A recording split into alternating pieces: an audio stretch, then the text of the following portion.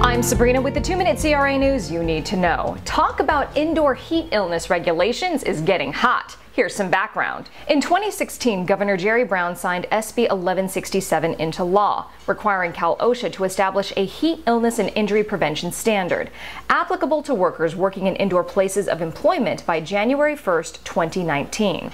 Currently, Cal OSHA is working on a set of proposed regulations to implement the standard for minimized heat-related illness among workers in indoor places of employment, and CRA is involved. CRA is providing restaurant-specific input as these regulations are crafted to make sure they reflect the unique nature of our business and food code requirements. Restaurants use commercial cooking equipment like gas ranges, broilers, ovens, and fryers to prepare menu items for our customers. The California Retail Food Code requires restaurants to heat eggs, meat, poultry, and fish to specific temperatures to ensure food safety. This regulation is really directed at agriculture, construction, and warehouse employees. It doesn't consider the restaurant environment, which offers cold water, ice, and air conditioning. Now, there's another twist with this regulation. A current law requires all state agencies, including Cal OSHA, to conduct a standardized regulatory impact assessment whenever a proposed rule would have an economic impact of $50 million or more. The standardized regulatory impact assessment would also take into account conflicting state regulations and propose efficient alternatives. But a bill currently making its way through the state legislature,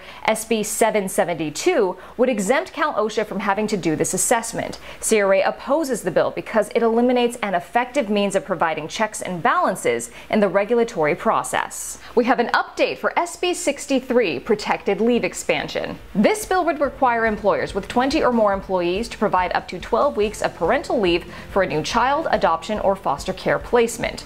Currently, SB 63 is in the Assembly Appropriations Committee suspense file. CRA opposes this bill. That's our two minutes. I'm Sabrina. Thank you for watching.